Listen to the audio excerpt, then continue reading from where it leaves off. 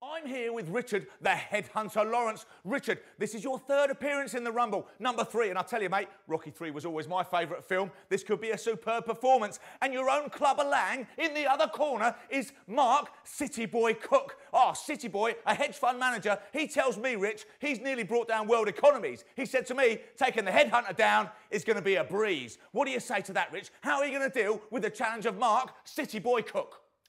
Mark City Boy Cooke probably the biggest banker I've ever met. Outside the ring, he's a decent fella. But when he gets in the ring, oh, his personality changes, his mood darkens, and his eyes, well, they just come over a shade of evil. Now, while we're on the subject of eyes, tonight, during the fight, I'm going to be uh, testing the theory that too much banking affects your eyesight. Because if City Boy doesn't bring perfect 2020 vision to this fight, then he's not going to even see my punches coming at him. But one thing you can be certain of, he's going to feel them. My mood? Oh, I'm hungry, all right. I'm hungry like a wolf!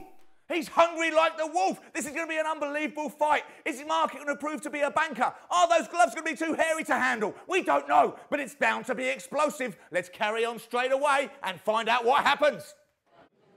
I'm here with Mark, City Boy Cooke, a very suave and sophisticated fighter who brings his own brand of class warfare to us tonight. Mark, the last time out we saw you in Rumble 5, bashing up the crafty Cockney. This time out, you've come for an altogether different challenge. You've come for Richard, the headhunter Lawrance. And let me tell you, Mark, I've seen the headhunter, and he tells me he's hungry for this fight. Hungry like the wolf.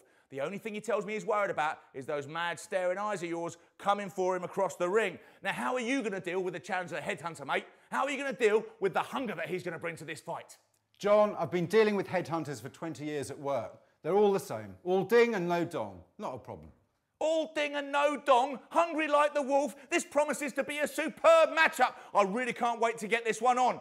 Is the city boy going to claim the headhunter for his trophy, stick it in his cabinet next to the crafty cockney? Or is the headhunter going to be triumphant and give the city boy a lesson he won't forget? There's only one way to find out. Let's get it on. Seconds out, round one.